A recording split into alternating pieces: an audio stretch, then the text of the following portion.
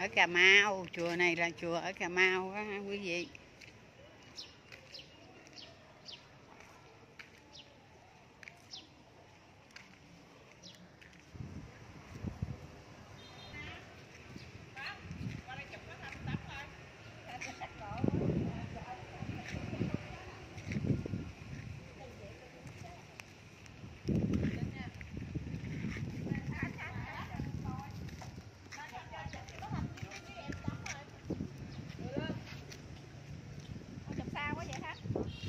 Đứng ngay chỗ con voi nè.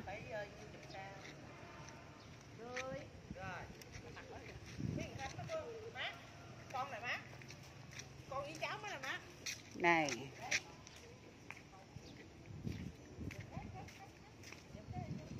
ok.